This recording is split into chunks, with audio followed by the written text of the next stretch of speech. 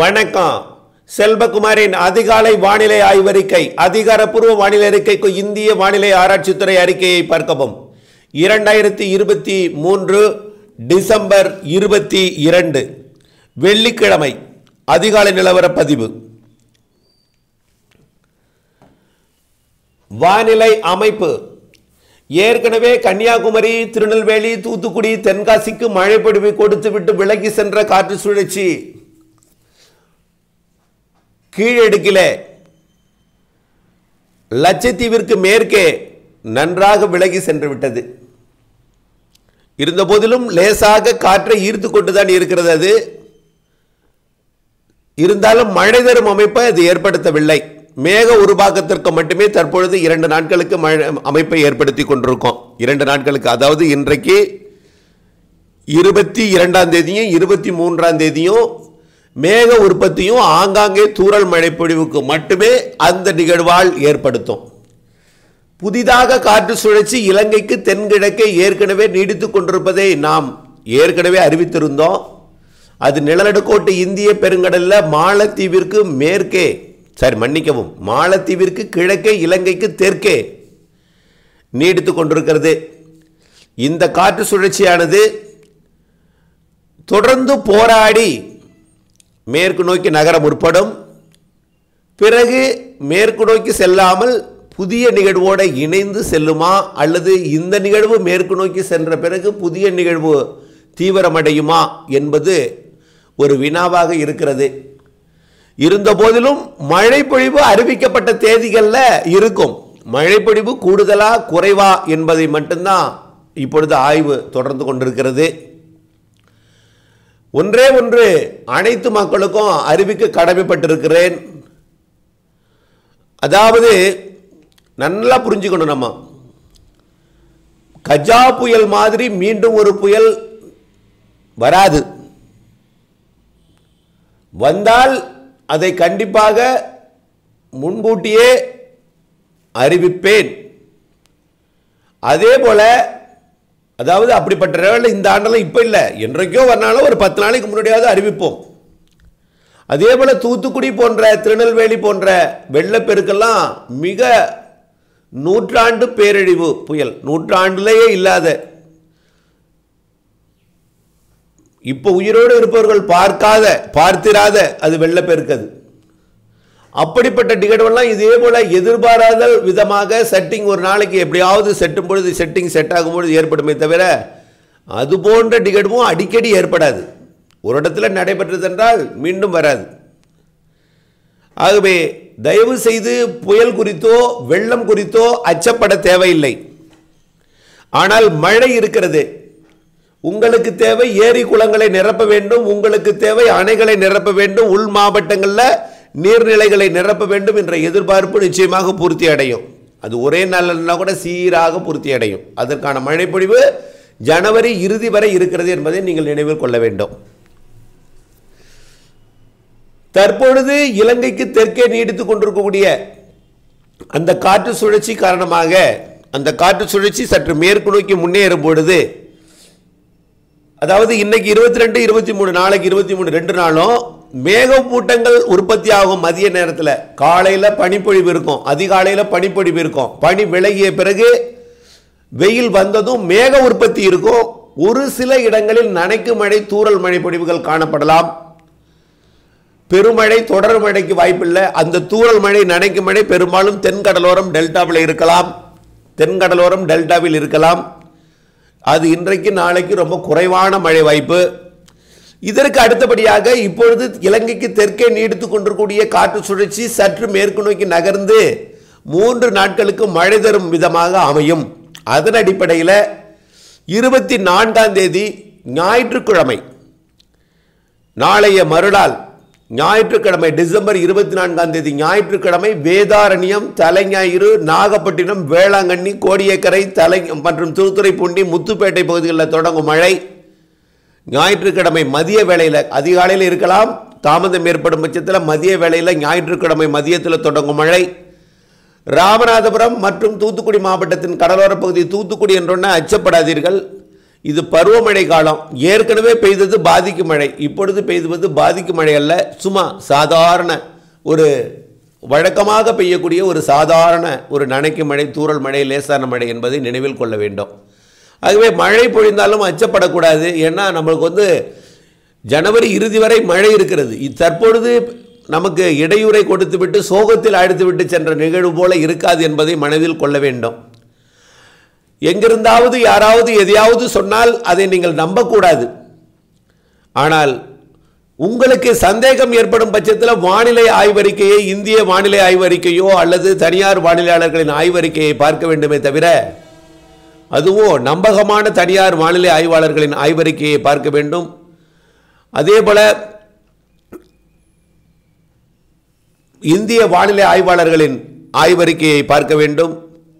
நம்பமான எந்த தகவல் உங்களுக்கு வந்தாலும் அதோடைய உண்மை உண்மைத்தன்மையை தீர ஆய்வறியாமல் அடுத்தவர்களிடம் எதையும் சொல்லக்கூடாது.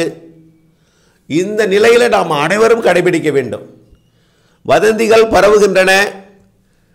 இதே போல தான் கஜா புயல் நேரத்திலும் மேலும் புயல்கள் வருகிறது என்று மாத கணக்கிலே வதந்திகள் பரவியது. இப்பொழுது தூத்துக்குடி திருநெல்வேலியில் வெள்ளம் வந்த பிறகு சென்னையில் வெள்ளம் வந்த போதும் இப்படி வதந்திகள் பரவுவது வழக்கமாகிவிட்டது. ஆகவே அங்கே ஏற்பட்ட பிரச்சனை பிற மாவட்டங்களுக்கு ஏற்படுமோ என்ற ஒரு அச்சத்தின் காரணமாக அவர்களவர்களாக கதைகளை சொல்லி வருகிறார்கள். ஆகவே எதையும் நீங்கள் நம்பக்கூடாது.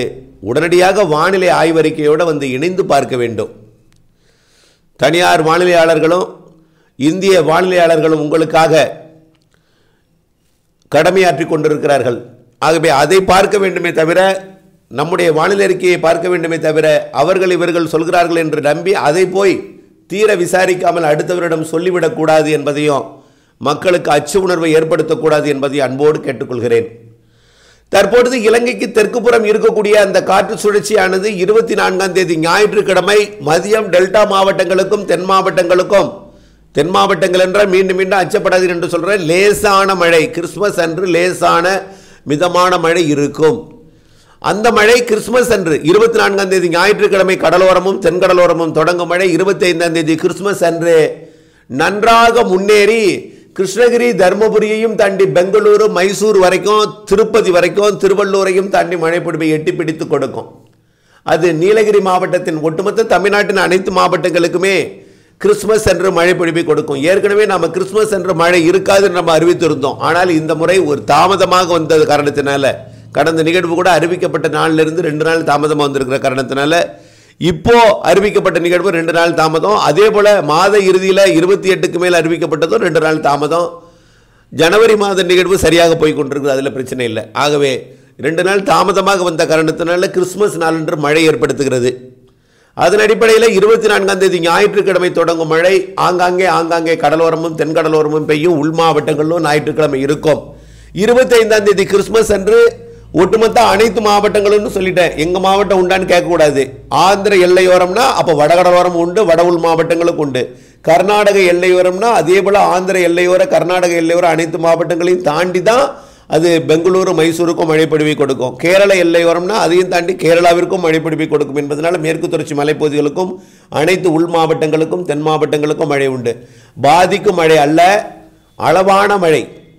விவசாயத்திற்கு ஏற்ற மழை. நீர் பாய்ச்சுதலுக்கு தேவை நீர் பாய்ச்சுதல் இல்லாமல் இந்த மழை பொழிவை பெறலாம். வரக்கூடிய ஞாயிற்றுக்கிழமை இருபத்தி ஐந்தாம் தேதி. இருபத்தி நான்கு தொடங்கி இருபத்தைந்து சற்று தீவிர மழைப்பொழிவை கொடுத்துவிட்டு இருபத்தைந்து பின்வாங்கும். இருபத்தி ஆறு மன்னிக்கவும் இருபத்தி நாலு இருபத்தைந்து இருபத்தாறு பின்வாங்கும். ஆகவே இந்த மூன்று நாள் மழைப்பொழிவு கொடுத்த பிறகு அந்த நிகழ்வு மீண்டும் அது கிழக்கு நோக்கி திரும்பலாம் அல்லது மேற்கு நோக்கி போகலாம். மேற்கு நோக்கி போனால் மழைப்பொழிவு தூறல் மழைப்பொழிவு லேசான மழைப்பொழிவு மிதமான மழைப்பொழிவு இருபத்தி ஆறு இருபத்தி ஏழு இருபத்தி எட்டுலையும் தொடர்ந்து கொண்டிருக்கும். ஆகவே அச்சப்படும்படியான மழைப்பொழிவு இருக்காது. அப்பால் செல்ல இருக்கிறது. அது மாலத்தீவை ஒட்டி தான் அது பயணிக்க போகிறது. ஆகவே குமரி கடல் பகுதிகளுக்கு வராது. குமரி கடல் பகுதிக்கு வந்தாலும் நெருங்கி வராது. குமரி கடலோட தெற்கு பகுதி மற்றும் மாலத்தீவு பகுதிகளில் மேற்கு நோக்கி பயணிக்கும். அப்படியே அது பயணிக்காமல் கிழக்கு நோக்கி வந்து புதிய நிகழ்வோடு இணைந்தும் தீவிரமடைந்து வருவதற்கு வாய்ப்பு இருக்கிறது. அது அப்படி வந்தால் இருபத்தி எட்டு இருபத்தி ஒன்பது இருபத்தி எட்டு வராது. இருபத்தி ஒன்பது முப்பது முப்பத்தி ஒன்று நிகழ்வாக உருவாகி அது நெருங்கி வரும். ஆகவே அது அப்படி மழைப்பொழிவை கொடுத்தாலும் ஏதோ தூத்துக்குடி போல எல்லாம் மழைப்பொழிவை கொடுக்காது என்பதை அன்போடு தெரிவித்துக் கொள்கிறேன். தயவு செய்து அச்சப்படக்கூடாது. அதே போல் புயல் எச்சரிக்கையெல்லாம் புயல் பாதிப்பெல்லாம் எதுவும் இல்லை. மழை தரும் அமைப்பாக இருக்கும். அது இருபத்தி ஒன்பது முப்பது முப்பத்தி ஒன்று. அதற்கு அடுத்தபடியாக ஜனவரி மூன்று நான்கு ஐந்து ஆறு தேதிகளில் இருக்கக்கூடிய நிகழ்வு கூட இரண்டு நிகழ்வு கூட ஒன்றிணைந்து ஒரே மாதிரியான மழைப்பொழிவை.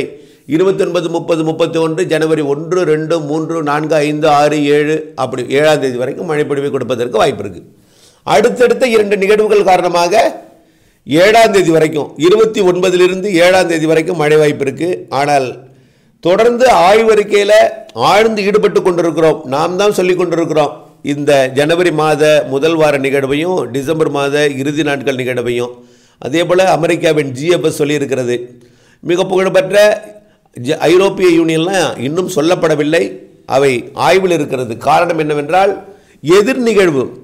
ஏற்கனவே குமரி கடலுக்கு அப்பால் லட்சத்தீவுக்கு மேலே நீடித்து கொண்டிருந்த எதிர் நிகழ்வு ஒரு ஆக்சிலேஷனில் இருந்து கொண்டே இருக்குது அதாவது அதாவது எதிர் நிகழ்வை கணிப்பதில் கூட ஒவ்வொருவரும் மாறுபட்ட கருத்துக்கள். அதாவது மேலே இருக்கக்கூடிய அந்த பு- எல்லாமேங்க ஒவ்வொரு மட்டத்திலும் காற்று ஒவ்வொரு மாதிரியான இருக்கும். இப்போ இன்றைக்கு எதிர் நிகழ்வு இந்த இடத்துல இவ்வளோ வேகத்தில் இருக்குன்னு ஒருத்தர் கணித்தார்னா இன்னொருத்தர் அவர் வேற இடத்துல இருக்கும் அது வேற வேகத்தில் இருக்கும் அப்படின்றது கவனிக்கிறாங்க. அப்போவே அப்போ வானிலை கணிப்பதிலையும் ஒவ்வொருத்தருக்கும் நாடுகளுக்கு நாடு வேறுபாடு அதே போல நமக்கு கூட வேறுபாடு ஏற்படுகிறது. ஆகவேனாலே ஒருமித்த கருத்து எட்டப்படவில்லை. இருந்தாலும் நிகழ்வு சாதாரணமாகவே மழை கொடுத்து கொண்டிருக்கும் என்பதையும் தெரிந்து கொள்ளுங்கள். ஆகவே வலுவான நிகழ்விற்கு ஒரு நம்மளுக்கு இடையூறு கொடுக்கும் வகையில் வலுவான நிகழ்வு ஏதும் இல்லை. ஆனால் மழை என்பது இருந்து கொண்டிருக்கும் வலுவான மழை பொழிவுனா சாதாரண ஒரு குளங்களையோ ஏரிகளையோ இதேமாரி நிரப்புமையில் ஒரு கனமழை பொழிவுக்கெல்லாம் வாய்ப்பு இருக்கிறது மாத இறுதியில் தவிர தூத்துக்குடியை ஒப்பிடாதீர் சென்னையை ஒப்பிடாதீர் என்று அன்போடு கேட்டுக்கொள்கிறேன். ஆகவே தொடர்ந்து வானிலை கூட இணைந்திருந்து மழைப்பொழிவு தேதிகளை அறிந்து திட்டமிட்ட வேளாண்மை செய்ய அன்போடு கேட்டுக்கொள்கிறேன். மீண்டும் அறிவிக்கிறேன் கிறிஸ்மஸுக்கு முதல் நாள் இருபத்தி நான்கு இருபத்தைந்து இருபத்தாறில் தமிழ்நாடு இருபத்தி நாலு கடலோரம் தென் மாவட்டங்கள் ஆங்காங்கே தொடங்கி இருபத்தைந்து பரவலான மழைப்பொழிவு தமிழ்நாட்டில் விட்டுவிட்டு ஆங்காங்கே ஆங்காங்கே கொடுக்கும். எல்லா மாவட்டங்களுக்கும் இருபத்தி ஆறு மழை தொடர வாய்ப்பு இருக்கிறது. இருபத்தி ஏழு இருபத்தி எட்டுலையும் லேசான மிதமான மழைப்பொழிவு இருக்கும். மீண்டும் இருபத்தி ஒன்பதுலேருந்து அடுத்த நிகழ்வால் மழைப்பொடிவு கொடுக்க தொடங்கும். அது இரண்டாம் தேதி மூன்றாம் தேதி நிகழ்வோடு இணைந்து ஏழாம் தேதி வரைக்கும் மழைப்பொழிவு கொடுப்பதற்கு வாய்ப்பு இருக்கிறது ஜனவரி ஏழு வரைக்கும். அதனைத் தொடர்ந்து ஜனவரி ஒன்பது பத்து பதினொன்றுலையும் அடுத்த ஒரு நாள் இடைவெளி கொடுத்து மேலும் நிகழ்வு இருக்கிறது. ஆக பொங்கல் வரை மழைப்பொழிவு இருக்கிறது. பொங்கல் வரை மழைப்பொழிவு இருக்கிறது. பொங்கலுக்கு கண்டிப்பாக இடையூறு இல்லாமல் இடைவெளி கொடுக்கும் என்பதில் நல்ல ஒரு வாய்ப்பு தெரிகிறது. பொங்கலுக்கு இடையூறு இல்லாத இடைவெளி கொடுத்து பொங்கல் பண்டிகைக்கு வாய்ப்பு ஏற்படுத்தும். அதற்கு பிறகும் பொங்கலுக்கு பிறகும் நிகழ்வு இருக்கிறது மழைப்பொழிவு இருக்கிறது குடியரசு தினம் வரைக்கும் இருக்கிறது. ஜனவரி இறுதி வரை நிகழ்வுகள் இருக்கிறது என்பதை நினைவுபடுத்த விரும்புகிறேன். ஆகவே மழைப்பொழிவு இருக்கிறது அச்சப்பட வேண்டாம். பாதிக்கும் மழைப்பொழிவு எல்லாம் தூத்துக்குடி போலவோ அல்லது கஜா புயல் போலவோ அல்லது சென்னை போலவோ இருக்காது. ஆனால் நீங்கள் வானிலை கூட இணைந்தே இருந்து உண்மைத்தன்மையை அறிந்து அப்டேட்ஸோடு இணைந்திருந்து திட்டமிட்ட பணி செய்து லாபமடைய அன்போடு கேட்டுக்கொள்கிறேன். நன்றி.